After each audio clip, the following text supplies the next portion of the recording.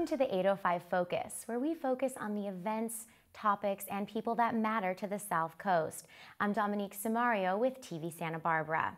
Here at TVSB, we strongly believe in the power of nonprofit organizations and the impact they have on our community. One group in particular that has been particularly powerful in making an impact is the Junior League of Santa Barbara. For nearly 90 years, they've been impacting the lives of women, children, and families right here on the South Coast. To discuss their projects and their mission and future goals, we have two special guests with us here today. I'd love to welcome Angela Balea and Jennifer Nice from the Junior League of Santa Barbara. Thank you both for being here. Thanks Thank for you. Thank you. So, I'm guessing that most people have heard of the name Junior League or Junior League of Santa Barbara if they live here on the South Coast. But I wonder how many people know exactly what it means. So I'd love to find out a little bit about your organization in particular, but really the history of the Junior League. So tell me a little bit about the background, Angela.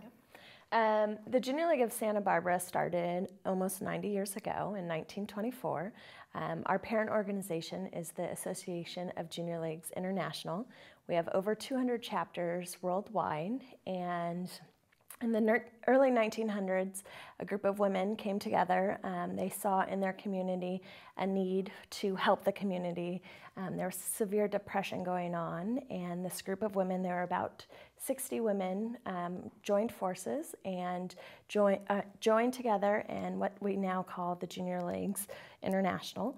Um, through that movement, if you will, um, they started in Lower East Side Manhattan and um, just started doing community service in their community. And through that, they did um, training for their volunteers, and then it became an international organization. So, if, if you were to describe to someone, Jennifer, why you're a part of Junior League, kind of, you know, what attracted you to this mission, what would you tell them? I think um, one is the focus volunteerism. So we do have a, a focus um, project for the, for a remainder of a couple of years, and that this year right now is um, focused on youth literacy. And I wanted an outlet to actually have my volunteerism, make it matter, have it all be in one area. But once I joined the Junior League, I realized that it's a great organization to, to train women so one of the, our focus areas also is to make our volunteers the, the best volunteers in the community and really train them on a number of different subjects. So with that, you know, training and also your your focus projects, do you think it's an important role that the Junior League plays in Santa Barbara? I mean, tell me a little bit about the role that, that you see for the Junior League. Right, absolutely. I, we've seen over 500 women in um, Santa Barbara go through Junior League of Santa Barbara. Um, women who start as early as college or women who are in their mid 40s with grown kids, um, whatever it may be. Um, it's an organization that um, gives back to the community financially as well as with our time, um, and it trains our volunteers to then go out into the community and serve on other board positions that will impact the community just as much as Junior League impacts the community.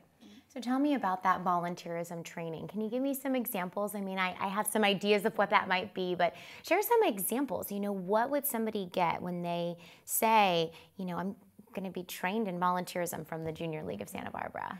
We have a training curriculum within our Junior League, and it touches on a number of subjects such as um, fundraising through events or financial literacy for nonprofits um, dealing with difficult people and also volunteering good for any any aspect of life i think maybe yes. and i think that's one thing about our training program is it's more than just for our volunteers they can take these ideas and these lessons that they learn through our program and and expand them into their corporate world and their personal lives and whatnot so right. It's, it's a great program. Um, it, every year we, we come up with different speakers to come into our community and actually speak and, and I think people walk away with great knowledge out of it. What about the fact that it is Junior League of Santa Barbara? It's it's women. Mm-hmm. Um, do you think that's an important element of the organization? Something that kind of separates it, differentiates it from other groups in town? Mm-hmm. And I think um, the women that were that started it in the early 1900s, there were many men's groups that men could join, and there was nothing really specifically for women that they can join, get trained, have volunteer time, you know, gain friendships. Um, and so that's why another reason I think that they started it. Um, and it's super important for women to be able to have a voice and to be able to be trained and um, go out into the community and do good things. Absolutely. Was the fact that it was, uh, you know, a women's group important to you, Jennifer? Absolutely. I, I actually had moved into town here 10 years ago, and I was um, struggling to meet people. Mm-hmm. But then also, again, like I said, I wanted a focused area to put my volunteer hours into. And you walk away from these groups and these different committees that you're on, and you become best friends with some of these women. And it's a great networking opportunity as well. I um, actually recruited one of my employees from the Junior League of Santa Barbara. So it's great networking as well as friendships and a learning organization and then also volunteerism. Mm-hmm. It's kind of multiple facets then. Uh, one that uh, we really would love to touch on because we think it's really an incredible and important part of your organization are the community impact projects. Uh, do you guys, I know the one that you're working on now is the Children's Library Project, correct? Mm-hmm. Can you give me some examples of uh, what are other projects that you guys have done in the past areas that you have impacted? Um, well, we um, have a long history, obviously, because we've been here for 90 years. Um, one thing a lot of people don't know is that we helped start the Santa Barbara Zoo. Um, no. That, yes. Um, you need to like write that all over the place. I, I don't yes. think many people know yes. that. That's yes. incredible. Yes. So um, through our volunteerism and our community effort, we helped secure that property and just establish what the zoo is today. We've also um, worked with um, what is called the SART Cottage, um, which is a cottage close to um, Cottage Hospital for women who have been sexually abused, a safe place for them to go and um, have their um, you know, have tests done, have the police do their reports and things. Um, we have also um, done well baby gowns for young babies. We've what else have we Be done? The match. Worked uh-huh. with Be the Match, the bone marrow matching oh, yeah. registry. Right. Yeah. Right. Worked with Transition House in um, mm-hmm. renovating their space, and and right. now working with the um, Big Brothers Big Sisters FSA mm-hmm. with mm-hmm. A, a, little project with them as mm-hmm. well.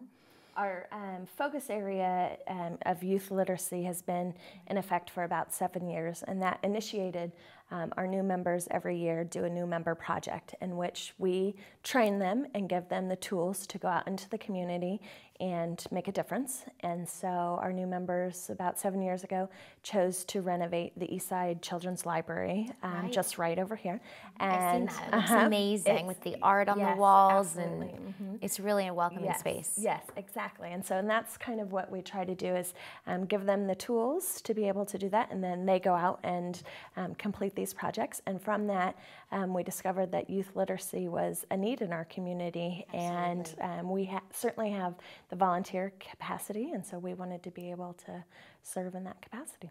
So tell me, Jennifer, a little bit about what this, you know, youth literacy as that your focus group. What does this mean? It's been going on for some years now.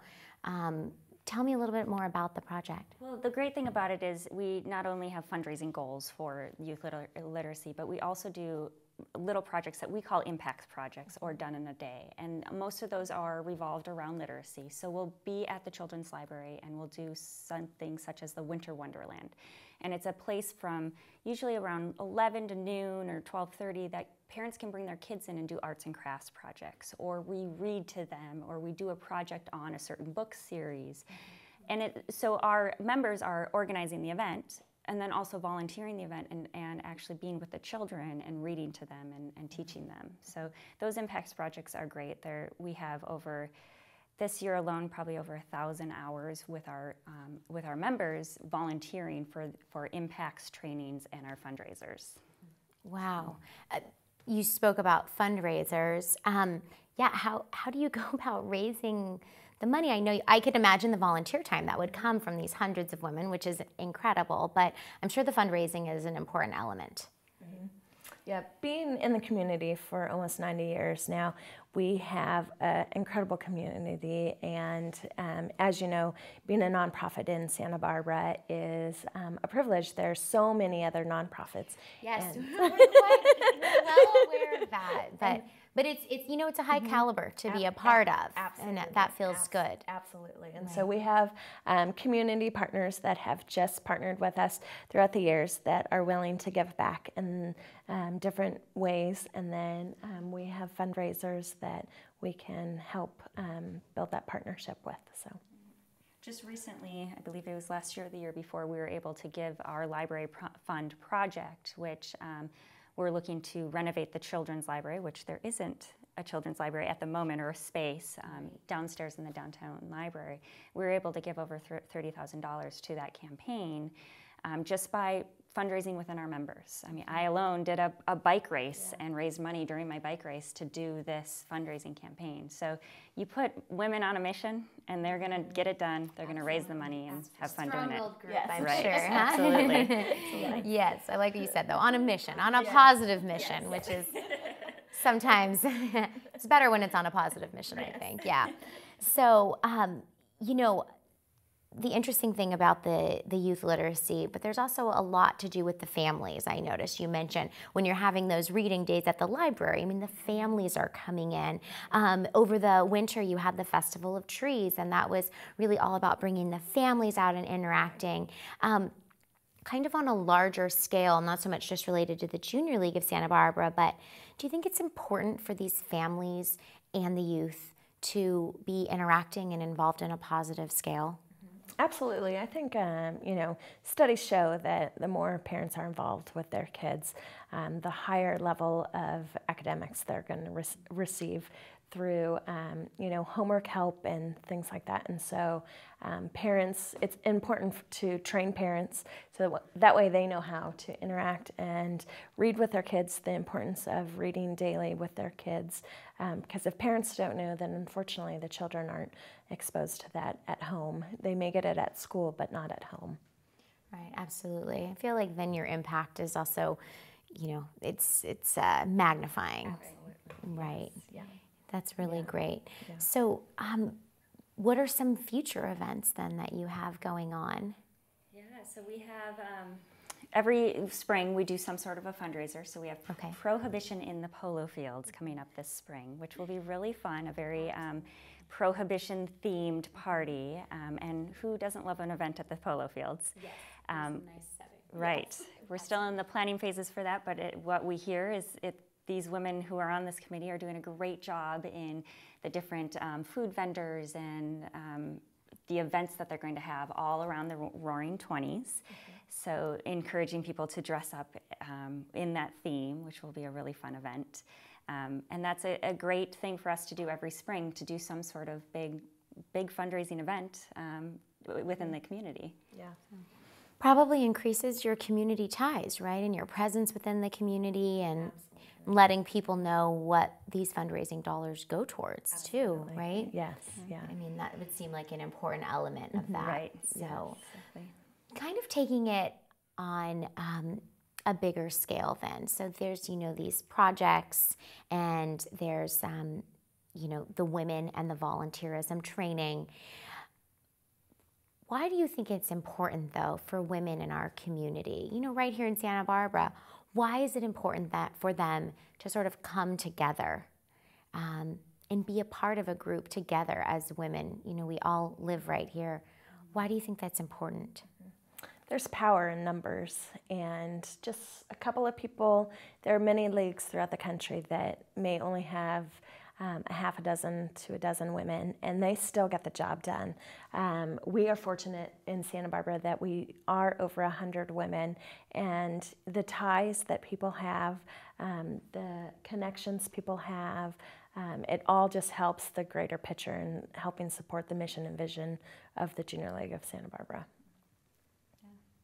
And do you do you find that it's empowering for you to be around these other women who are doing such good things? Absolutely. I think, uh, as I was talking earlier about the, the uh, networking component of it, you, you, you get with these women and you realize what they do for their day jobs.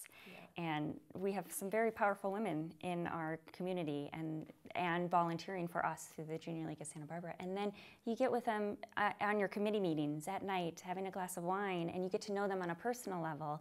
But then also, when it comes along that you need to pick their brain about their career, let's say they're a lawyer or they're in PR or whatnot, you have that resource available. And it just empowers you to become better because you have your, your network and your resources, but also to learn more from, from this great group of women. Right.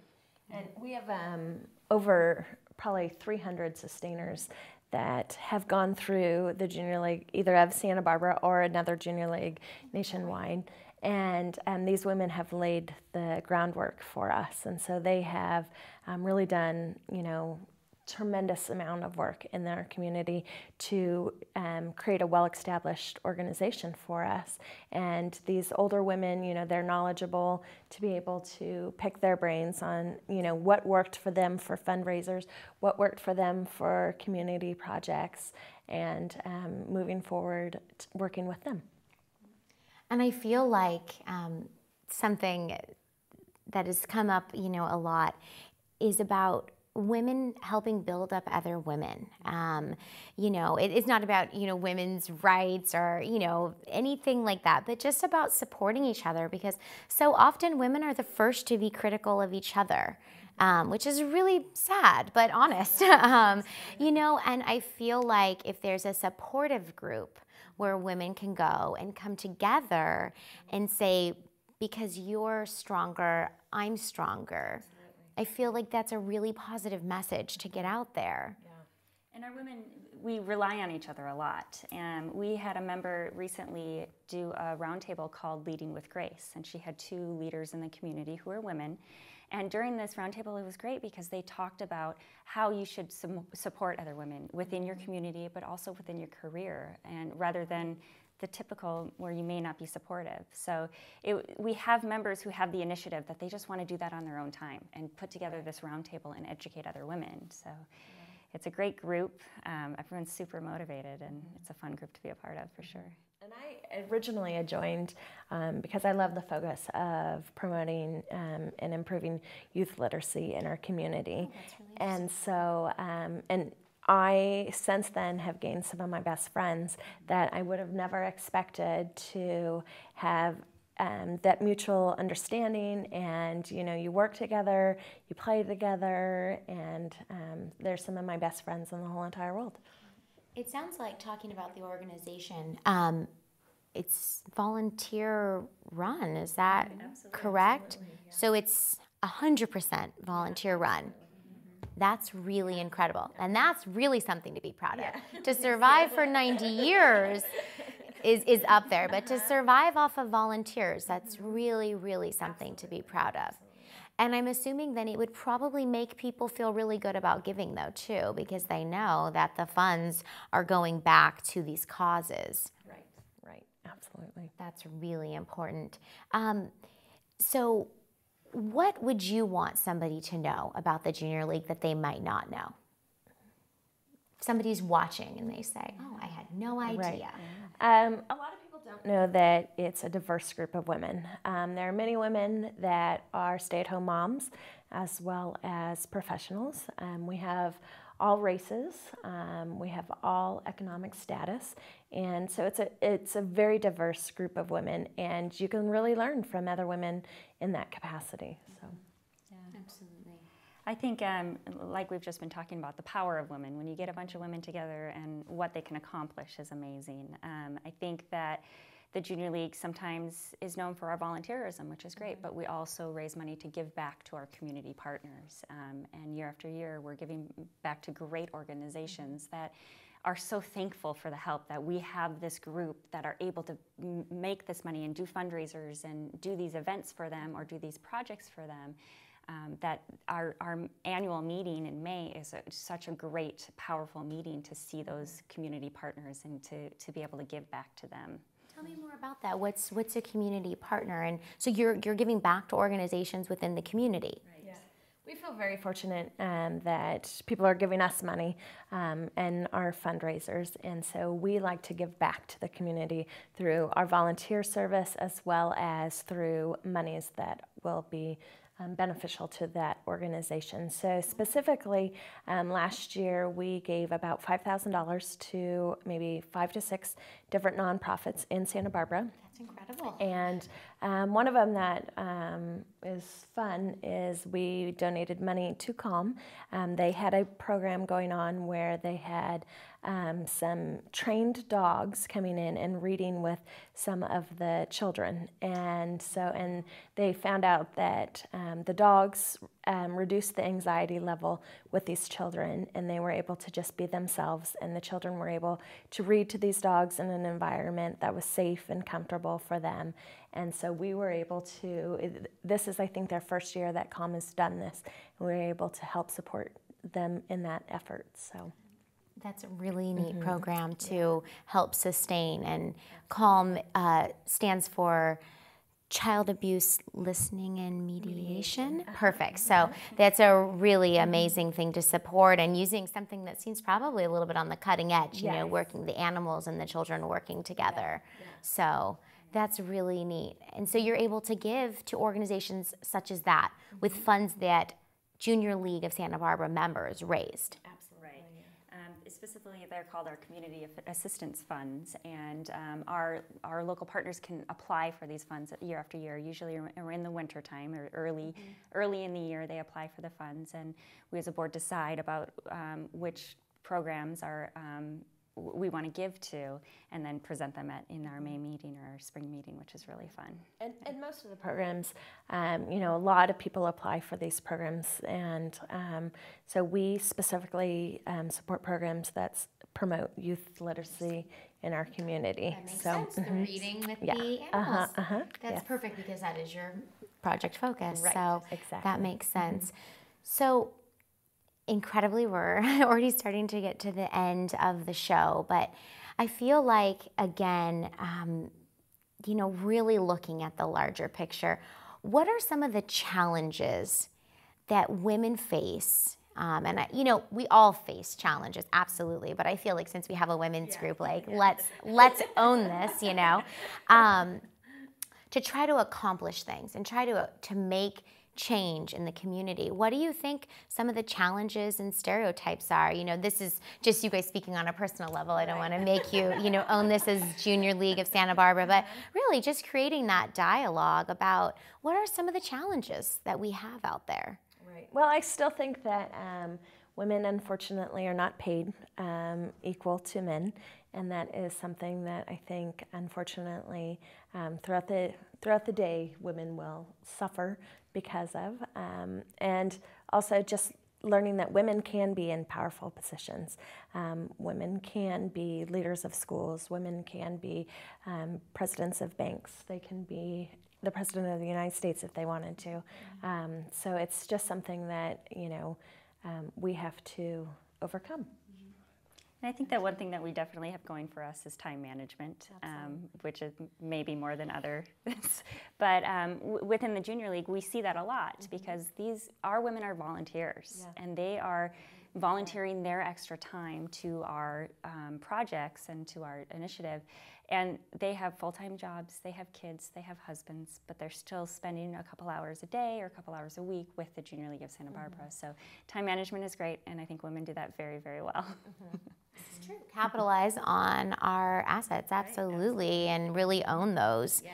tools that we have mm-hmm. to affect change. Yes. Yeah. So, for our viewers watching, um, what would you say to encourage them to do something, men and women? this, this isn't how we, we encourage everybody to, to make positive changes out there. Um, what would you do to encourage them to, to make a change in their community? You know, we, this is our community, the South Coast, this is where we all live. So what would you do to encourage them? Um, my focus this year, um, my theme, if you will, has been make it matter. And um, with that, I want every woman in our organization, as well as any person I come into contact with, to be able to really look at their day and make it matter. What are they going to do differently that um, will make them smile in a different way? how are they going to impact um, their coworkers? How are they going to um, really make it matter? Are they going to put down their phone so they can have a 30 minute conversation with a friend? Um, you know, whatever it may be, just to make it matter in their daily life. That's really powerful lesson because we can do a lot every single day, you know. And even like you said, if it's a one on one conversation, that can make a difference as well. Yeah. What do you think? I think I just kind of roll off of Angela's. Her theme this year has been really great, and it does it does make us all think, okay, what, what can we do in a day that will either make ourselves happy or make somebody else happy? Um, mm-hmm. Is that holding the door open for somebody? I think our society has gotten gone a little down route, downhill in the manners department. So, is it holding the door open for somebody? Is it paying for the parking for the person behind you? Is saying you know, you. yeah, saying thank you. All those little things that you know, if one person does it, the next person will do it for the next person, right. and then we'll have a community of right. very man- manners-focused people. You know, it's amazing because neither of you said um, they should go out and spend all day Saturday, you know, volunteering. Not that it wouldn't be helpful every so often or when possible, right. but the little things do add up to make a difference, and we all can do them. Men, women, young, old, it doesn't matter. So, um, with that, I really want to thank both of you again. Jennifer Nice and Angela Bolea, thank you so much for being a part of the show and sharing your stories and also the stories, you know, of the Junior League of Santa Barbara. Um, really appreciate it. If somebody wants to find out more information, you can actually visit their website at JL santabarbara.org. Find out more about their upcoming events, their focus project, and I'm sure about becoming a member. So uh, if you're a woman out there watching, consider that. And finally, to watch this show and other TV Santa Barbara programming, you can visit our website at tvsb.tv. I want to thank you for watching as a viewer, but I also want to thank our crew, um, both staff of TV Santa Barbara and also our volunteer crew. We could not make this happen without you. So until next time, thank you so much for watching the 805 Focus, where we focus on the events, topics, and people that matter to the South Coast.